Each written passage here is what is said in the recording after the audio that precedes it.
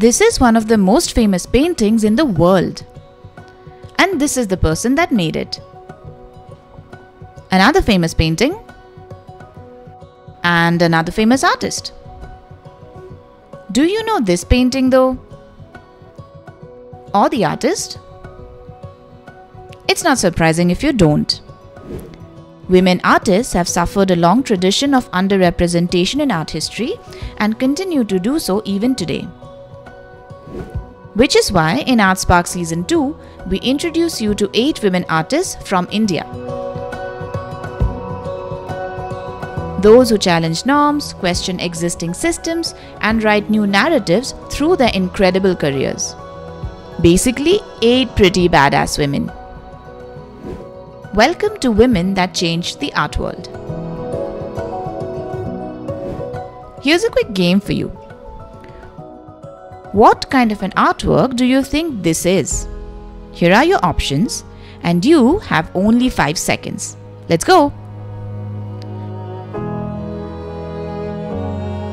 And time's up. What did you pick? This is an example of installation art. It does look a lot like a sculpture, but it is made up of multiple other parts. So, installation is a bit like sculpture's complicated cousin.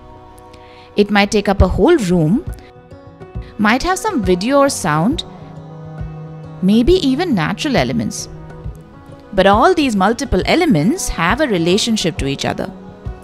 Just like the monster web displayed on the outer wall of this building, which in fact is a museum in Mumbai. When you look closely, you see that the web is actually made up of many, many wooden stamps. Individually, the stamps, the web made using them, or even the museum wall are just what they are. But together, they create something with a whole new meaning.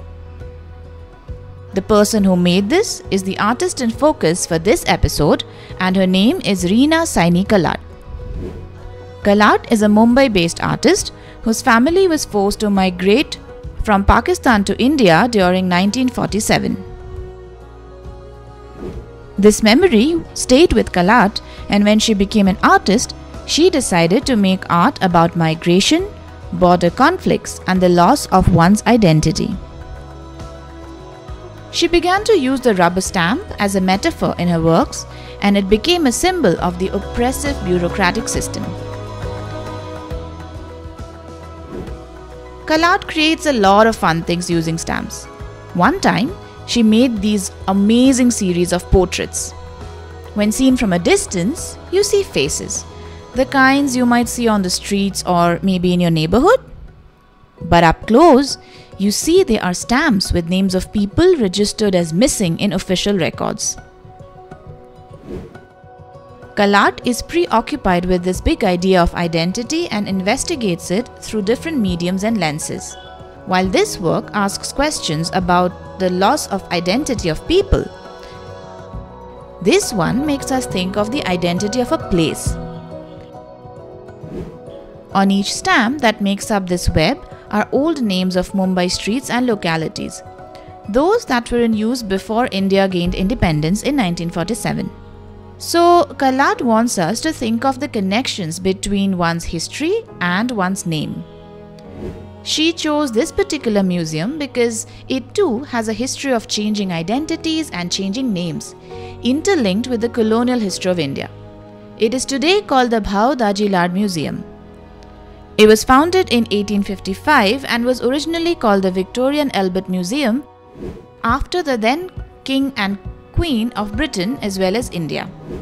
In 1975, the Indian government renamed it to the Bhau Daji Lad Museum to commemorate the antiquarian and educationist by the same name, who helped fund the museum building. So, Kallat is making us think of the act of a name change, of the power that it holds in erasing or altering the story of a place. Reena Kallat also experiments with sound. Her installation chorus is modeled on listening devices used during the Second World War to pick up sounds of enemy aircrafts. Only in Kallat's devices, instead of hearing the buzz of aircrafts, one hears bird songs.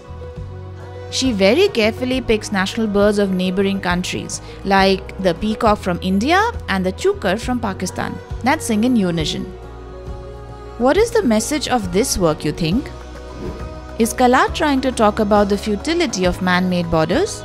Or encouraging us to see commonalities across them? Reena Kallat continues to make installations using nature as metaphor and her favorite stamps. She experiments with a variety of other mediums too, all the while bringing our attention to things that are wrong with the world, those that we may sometimes miss or even refuse to see. And by doing so, she prompts us to question the system, think about the big problems, and maybe even look for solutions. Look up Reena Kallat online to see what other awesome installations she has created over the years.